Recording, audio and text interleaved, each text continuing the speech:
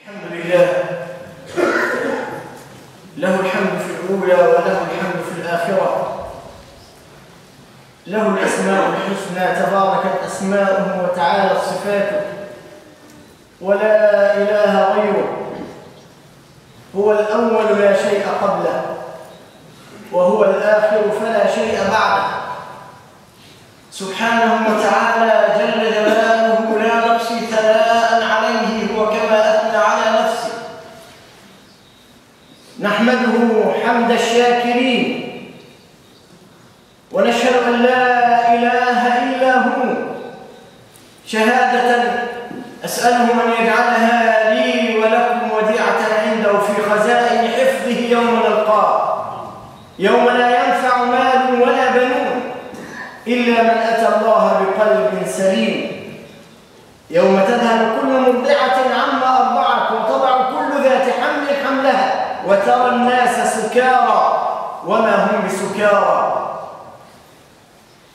وأشهد أن نبينا وإمامنا وقدوتنا محمد رسول الله المبعوث رحمة للعالمين.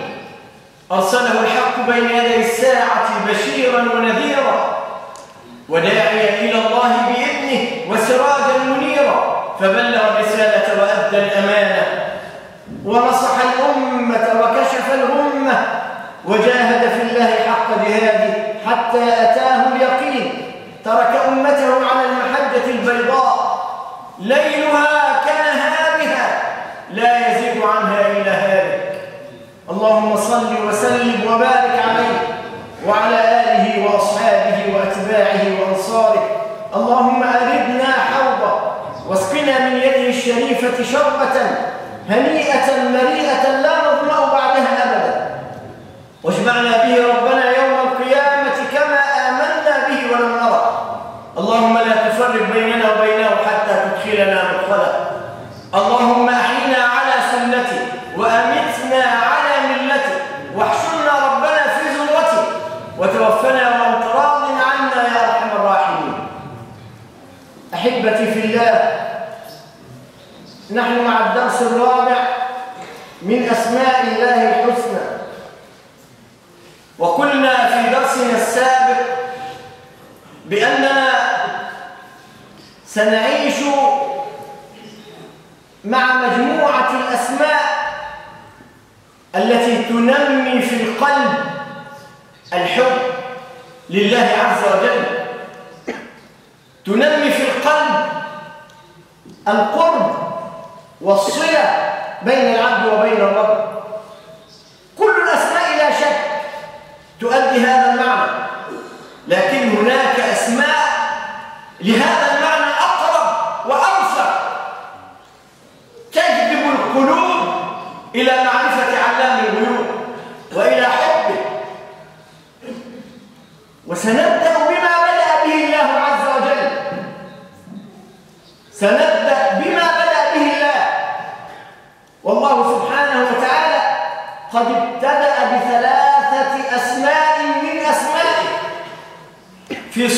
prophetic.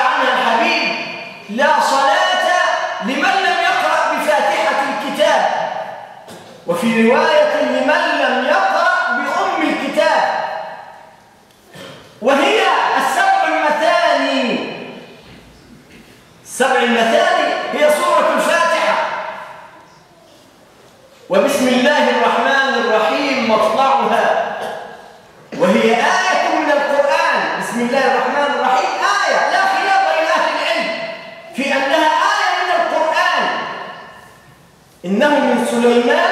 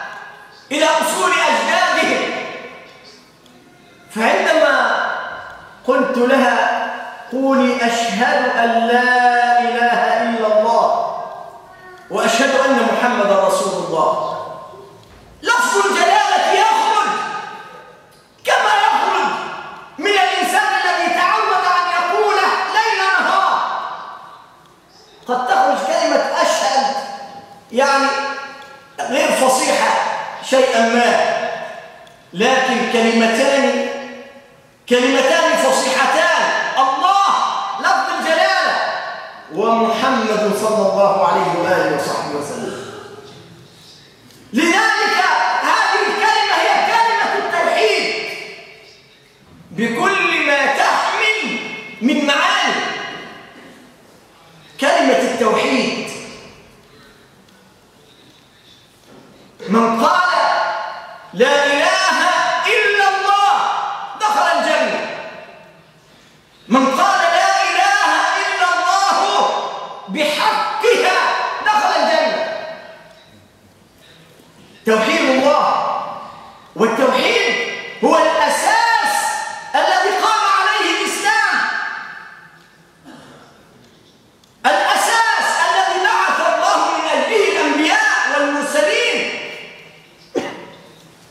Your hand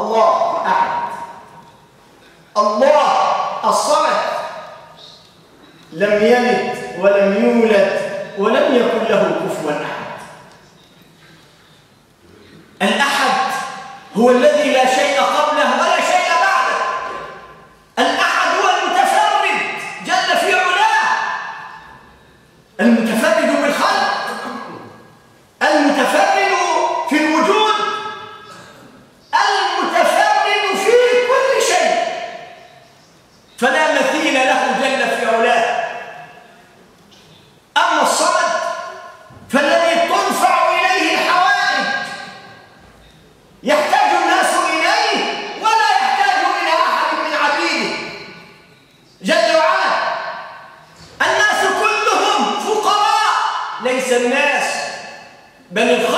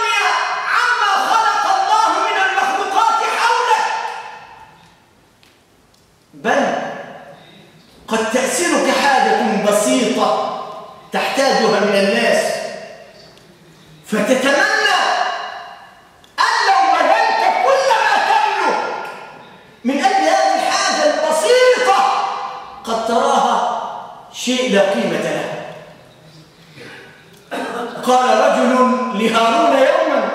يا هارون أرأيت لو بلغ بك الظمأ مبلغه فاحتجت إلى كوب من الماء. كوب من الماء لتشرب. ولم تجد حولك وجاء من يقول لك كوب الماء بنصف ملكك أنا مستعد أن أسقيك لكن هذا الكوب الذي عندي قيمته نصف الملك هل تعرف كم كان ملك هارون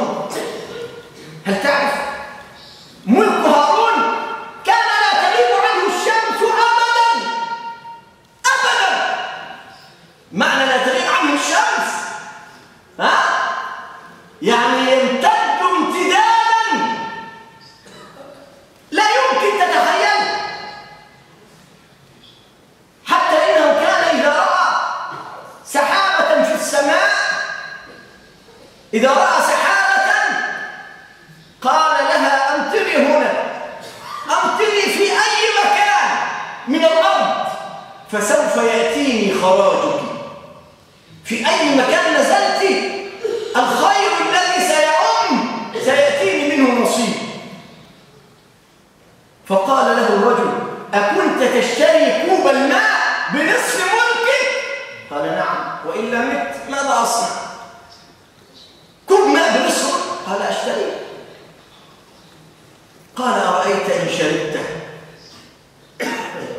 إن شربت؟ هذا الكوب فاحتبس الماء ولم يخرج.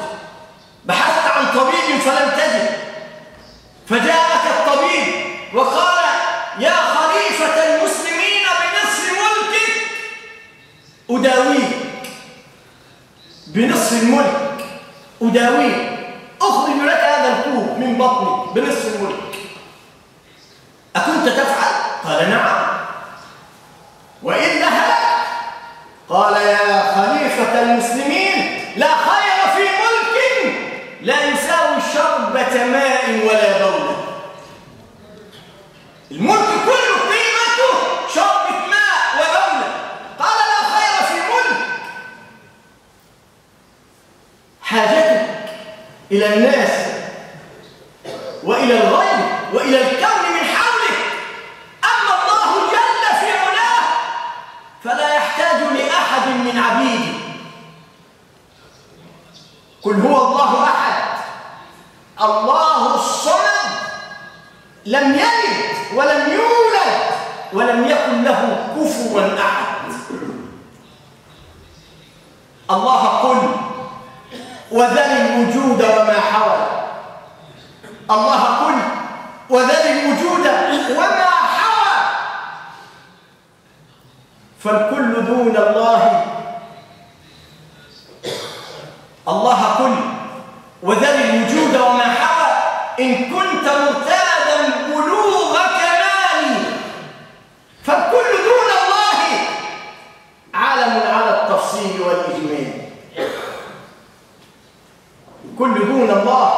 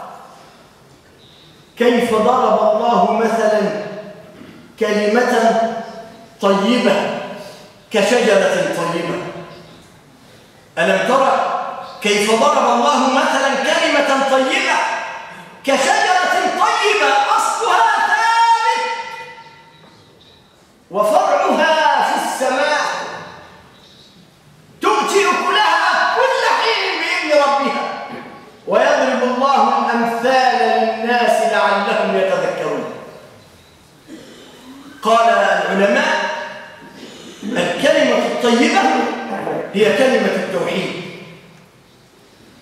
لماذا؟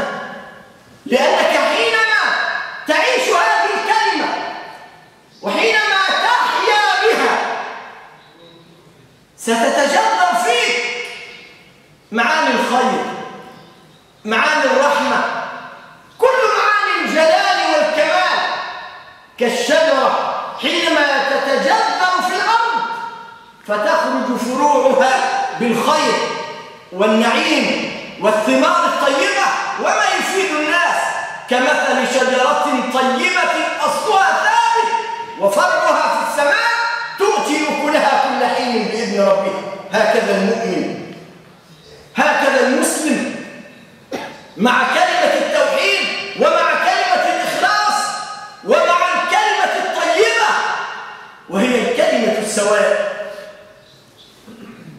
كلمة السواء التي لا عجاج فيها.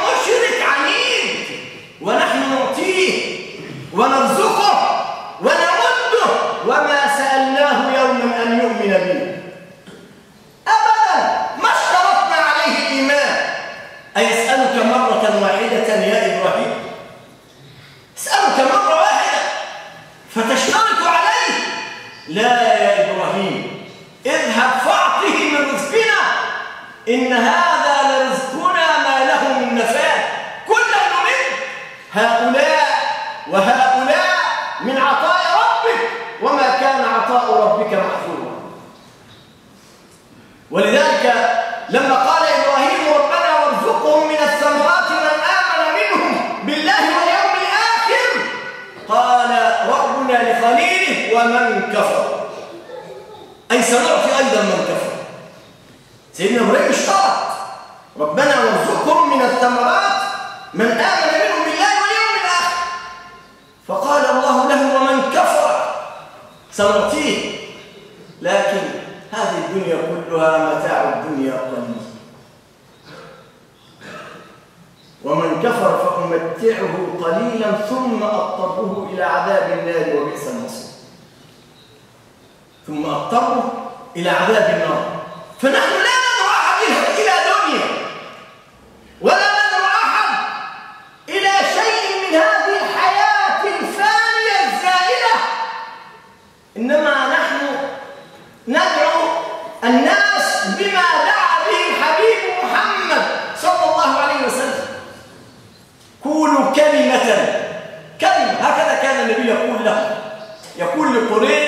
الأعراب ويقول لليهود في المدينة ويقول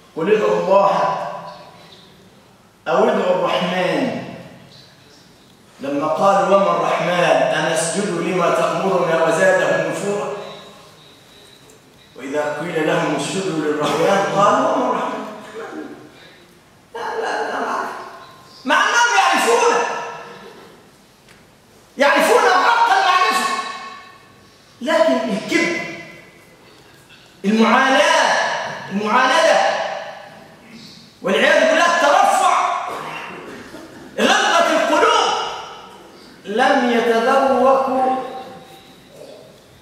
الصلة بينهم وبينهم. كان يعبدوه عبادة القشور كما يسميها منشور هم لا يعرفونه. ولذلك كثير من الناس في عبادته مع ربه وفي صلته هو لا يجاوز اللسان فقط. لكن الجوارح والقلب والجنان لا يعرف لا يعرف شيء. قال وما الرحمن؟ ألم يسأله النبي عليه الصلاة والسلام وليس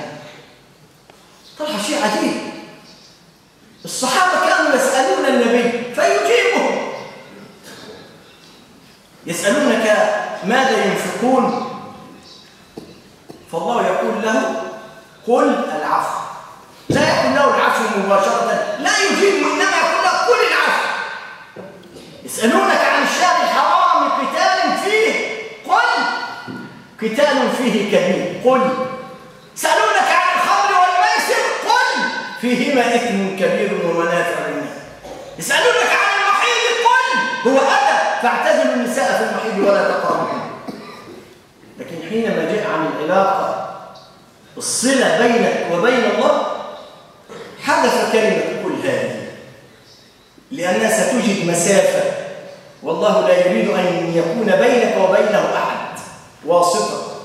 وإذا سألك عبادي عني فإني قريب. الفاء في اللغة كما يقول مشايخنا أهل اللغة العربية تفيد الترتيب والتعقيب.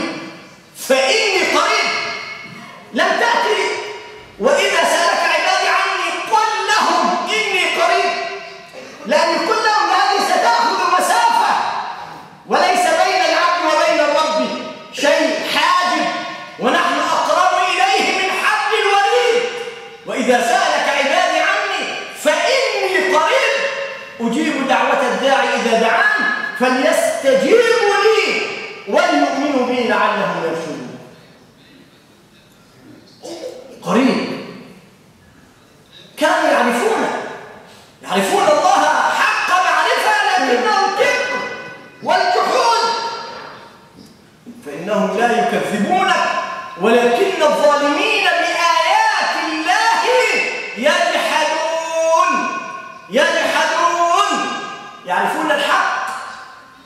يعرفونه. فهناك من لا يعرف ربه إلا باللسان. لا يعرفه إلا باللسان. لكن لو عرفه بالقلب والجوارح لو تذوق حلاوة الإيمان لقال ألا وبينك. ألا ليت الذي بيني وبينك عامر. وبيني وبين العالمين خراب. وليتك تحلو والحياة مريرة. وليتك ترضى والأنام غضاب. إذا الود صح منك فالكل هين. وكل الذي فوق التراب تراب لن يبحث لن يبحث العبد إلا عن الود والحب والصلة التي بينه وبين الله عز وجل. ولذلك الله عز وجل قال إذا تولى الناس ولم يقبلوا عليه وأعرضوا ارتدوا عن دين الله هذا الأمر لا يحرك شيئا في كون الله. من يرتد منكم عن دينه؟ من يرتد منكم عن دينه؟ فسوف يأتي الله. الله وحده هو القادر على ذلك. فسوف يأتي الله بقوم يحبهم ويحبونه. يحبهم. هذه العلاقة. هكذا يريد ربك منك هكذا يريد الله أن تتعامل معه تعامل المحب لحبيبه تعامل المحب حينما تتذوق هذه الحلاوة سيهون عليك كل شيء. عش مع لفظ الجلالة مع اسم الله الأعظم كما ذهب إلى ذلك كثير كثير من أهل العلم أن اسم الله الأعظم في لفظ الجلالة اللفظ الذي إذا ناديته به على أي حال يا الله اللهم كما جاء في السنة. يبقى هذا الاسم حتى إذا أردت أن تحذف منه حرفا لا يتغير المعنى أبدا. إذا حذفت الألف في أوله قلت لله ما في السماوات وما في الأرض. وإذا حذفت الألف واللام قلت له ما في السماوات وما في الأرض. فهذه الكلمة العظيمة الحبيبة إلى قلوب النفس. هذه الكلمة التي ترقق القلوب وتقشعر لها الأبدان. عش معها. اعلم أن الله جل وعلا من أسمائه الكثيرة التي تورث في القلب الرغبة والرهبة والخشية اسم الله الأعظم الله يورث في القلب إلى جنب ذلك الحب حب لله سبحانه وتعالى أحب الله لما يغفركم به من النعم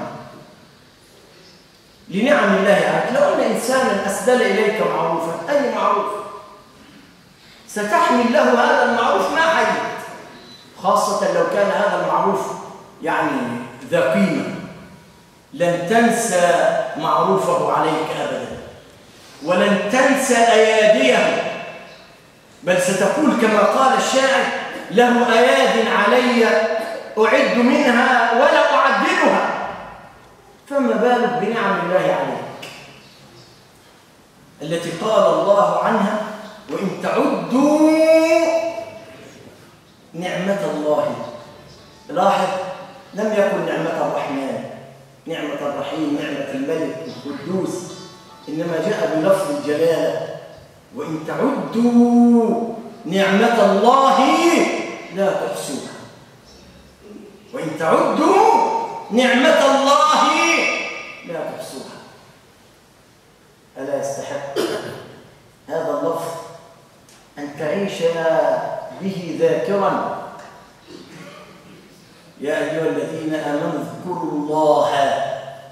تذكر من موجبات حبك له أن تذكر اذكروا الله ذكرا كثيرا. اذكروا الله ذكرا كثيرا. من موجبات هذا اللفظ أن تستغفره استغفروا الله العظيم. كما جاء في الحديث الذي لا إله إلا هو الحي القيوم وأتوب إليه.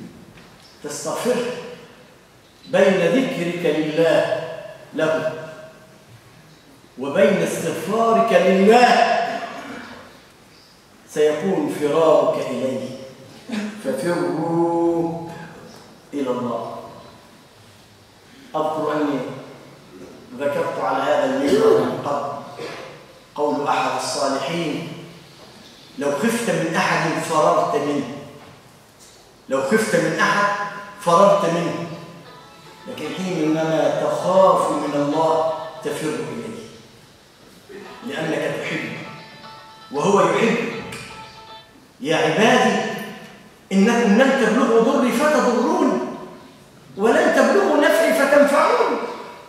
يا عبادي لو أن أولكم وآخركم وإنسكم وجنكم كانوا على أتقى قلب رجل واحد ما زاد ذلك في الملك شيئا. يا عبادي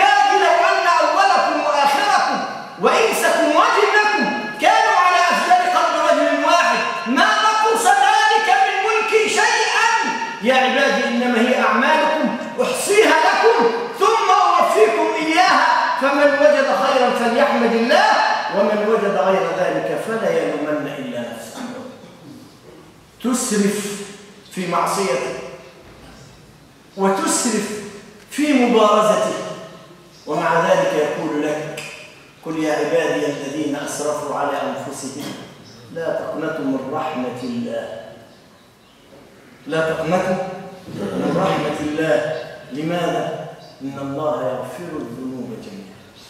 إن الله يغفر الذنوب جميعا.